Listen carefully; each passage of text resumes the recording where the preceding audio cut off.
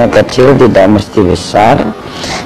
Lalu kita bisa letakkan kita lakukan terapi mau tidur 7 menit bangun tidur kita 7 menit ya. Itu sangat sangat manfaat sekali.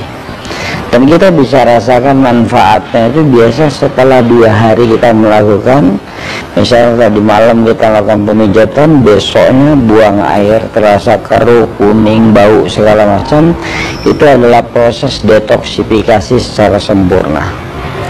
Ya jadi caranya lihat sahabat sahabat Nawawi jadi kalau kita lihat bahwa seluruh organ kita terwakili dari telapak kaki kita ya maka jari-jari itu kita ibaratkan adalah kepala jadi kalau orang yang sering sakit kepala coba jari-jarinya ini dipencet lama.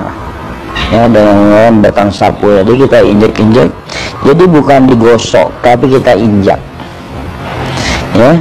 Nah di bawah jari-jari atau di bawah kepala itu ada leher maka garisnya ini adalah leher kita. Ya di bawah leher itu ada dada maka lekukannya. Nah ini ini adalah posisi dari dada kita jadi kalau kita misalnya ada masalah pada dada maka tekan di sini lama. Ya.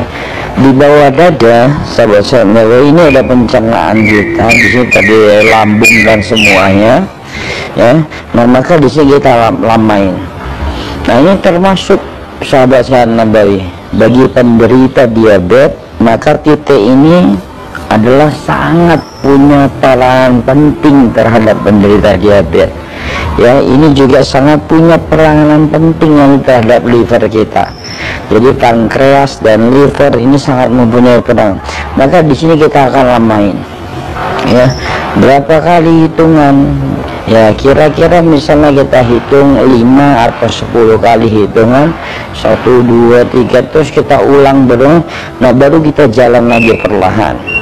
Ya ketika kita sembelit misalnya mengatasi supaya buang air besarnya lancar segala macam nah titik ini sangat punya peranan penting ya.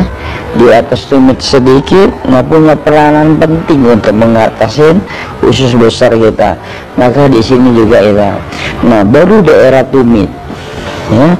Tumit adalah titik reproduksi Nah makanya biasanya bagi wanita yang haidnya suka sakit, keluar bercak merah, ya tidak stabil segala macam, jadi peradangan. Nah maka daerah tumit ini bisa dilakukan terapi rutin. Ya jadi seperti kita jalan pagi, ya kita lakukan di daerah tumit. Nah biasanya lakukan satu minggu sebelum haid ya supaya kita merasakan manfaatnya. Jadi bukan pada saat dia haid ya langsung bisa sembuh tidak. Satu minggu sebelum haid. Nah atau bagi yang laki-laki ini adalah titik juga titik kesuburan titik vitalitas. Maka tadi kita katakan bahwa batang sapu murah meriah tapi bisa mengatasi semua masalah dalam penyakit kita. Ya maka kita bisa terapi rutin. Jadi sahabat sahabat Nawawi jangan sia-siakan batang sapu yang ada di rumah kita. Jadi lakukan. Ini kita lihat urutannya. Ya dari ujung jari kita jalan perlahan. Nah terus kita jalan.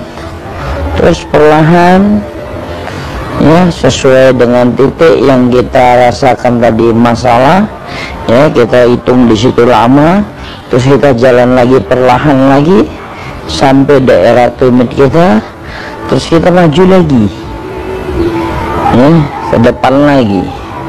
Jadi posisinya kita jalan maju ya sudah di ujung kita maju mundur lagi terus jadi maju terus mundur dan kita rasakan perlahan. Jadi jangan terlalu buru-buru.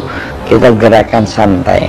Ya yang pasti keajaiban 7 menit pagi dan keajaiban 7 menit malam dengan batang sapu keesokan harinya bisa kita rasakan.